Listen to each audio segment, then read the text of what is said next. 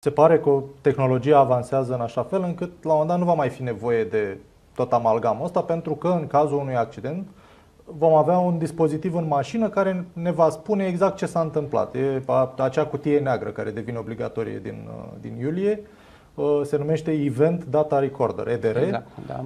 Uh, și devine obligatoriu pentru toate vehiculele înmatriculate în Uniunea Europeană, începând cu data de 6 iulie 2024. Asta a decis Comisia Europeană. Și, mă rog, descrierea e simplă, practic, e ce e cutia neagră cutia la avion, asta va fi și la exact, mașină. Exact, da și va înregistra toate datele de la majoritatea componentelor uh, unei mașini, astfel încât în cazul unui accident vom ști exact ce s-a întâmplat de la momentul pornirii mașinii până la momentul impactului. Uh, nu, nu e chiar așa. Um, are, acest EDR are următoarea, să zic, caracteristică tehnică. Înregistrează, dar și șterge în același da. timp da. și, practic, în cazul unui accident, când pornesc acei da. senzori, declanșează airbag-uri și e clar accident, ține minte ultimele secunde, 5 da. secunde, 10 secunde, sunt diferite setări reglaje, pentru că ar fi prea mult să înregistreze absolut prea totul. Mult stocare. Prea, prea da. mult, ar, ar fi prea uh, sofisticată sau în fine prea costisitoare toată povestea să înregistrezi totul și atunci înregistrează uh, permanent, buclu, dar poate să, dea, poate să dea puțin sau în fine pe ultimele da. secunde, că de fapt aia te interesează la un accident. Ce s-a întâmplat în ultimele câteva secunde? Deci, ce viteză aveți? Da, să zicem oarecum.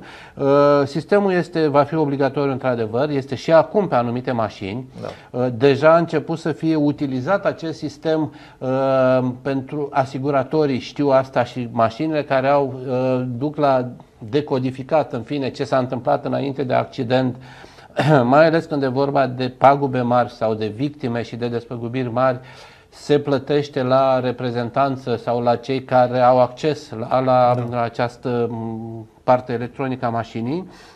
Da, este uh, mai mult decât utilă această cutie neagră, așa cum este și la avion, uh, și este utilă, pe de o parte, pentru că în timpul unui accident sau după un accident se va ști exact ce se întâmplă, dar este uh, utilă și pentru a constrânge puțin sau în fine a limita puțin Uh, șoferul în a-și asuma riscuri pentru că știe că nu mai poate să mintă.